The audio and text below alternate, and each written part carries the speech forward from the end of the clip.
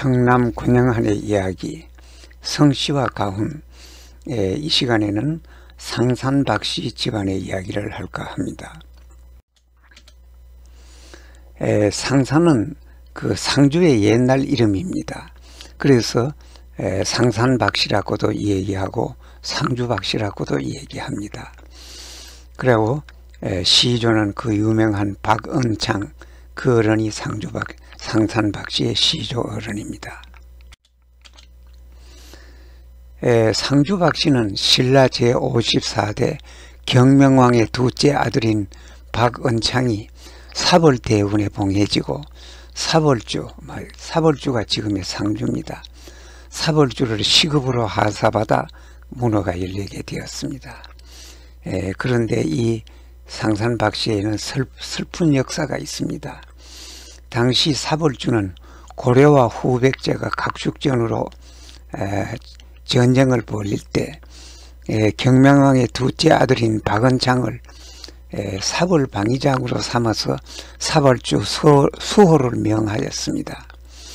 에, 그래서 직접 군대를 이끌고 견훤을 격퇴시킨 후 지금의 사벌동과 에, 흥국촌에 방위본부를 만들고 병풍상선과 또 이부곡 상성, 또 자산산성 등을 축조해서 재반 군비를 완비하여 마침내 적과 대항하였으나 그 그때 신흥 세력인 고려가 문경과 음, 또 이 안동 지방을 차지하게 되고 어,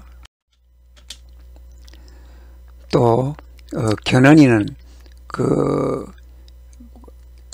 어, 뭡니까 고령과 그 영천 어, 혹은 또 선산 일대를 점거해서 신라의 국세는 급격히 이렇게 쪼그라들고 음, 쇠퇴되었습니다.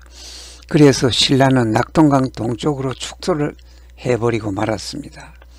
그에 따라서 사벌주는 본국인 신라와의 교통이 두절되고 예, 섬나라처럼 고립 상태에 빠졌습니다. 그래서 할 수 없이 박은창은 서기 918년에 그러니까 경명왕 2년에 자립으로 사벌국을 세우고 그 수도를 사벌동과 흥국촌에 정하고 에, 성을 쌓습니다. 그리고 궁전을 에, 건축하여 에, 둔진산을 군사의 주성지로 에, 주둔지로 삼고 수비를 왕왕히 했습니다. 이때 에, 그래 하는 그 사이에 에, 견훤과 그의 아버지인 아자개가 부단히 내침을 하여 결과적으로 사벌왕은 10여 년간의 항정을 하였으나 서기 927년 3월에 낙동강을 건너온 그 뭡니까 견훤의 군대에게 도저히 싸울 수가 없어서 중과 부적으로 항전 14년 만에 또 임금으로 오른 지 11년 만에 패망하고 말하는 아주 슬픈 역사를 지닌 어른이 바로 에, 그 뭡니까 어, 상산 박씨의 시조 어른입니다. 에, 상주 박씨도 에, 후대로 내려오면서 그 많이 그 자손들이 번창했는 때문에 여기 보는 것처럼 이런 여러 개의 파로 분파가 되었습니다. 에, 자기가 어느 파에 해당하는가 하는 것은 어른들한테 물으면 잘 알 수가 있습니다. 그리고 상산바 씨도 집안에는 유명한 어른들이 너무너무 많습니다.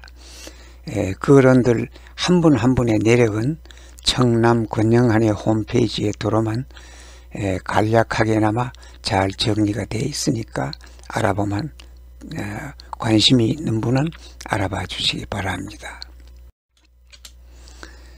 에, 그러면 오늘은 고려말 조선 초의 문신인 박안신 어른이 남긴 말씀을 한마디 전합니다. 자강불식이라 자기 발전을 위해 쉬지 말고 노력하라 그렇습니다. 자기 발전을 자기가 하는 거지 남이 시켜주는 것이 아닙니다.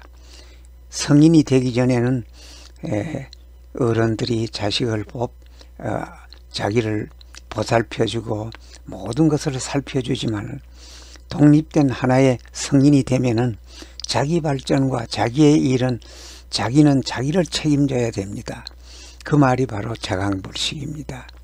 정리하면은 자기 발전을 위해 쉬지 말고 노력하자 그렇습니다. 이 시간에는 상주 박씨 즉 상산 박씨 집안의 말씀을 하였습니다. 경청해 주셔서 감사합니다.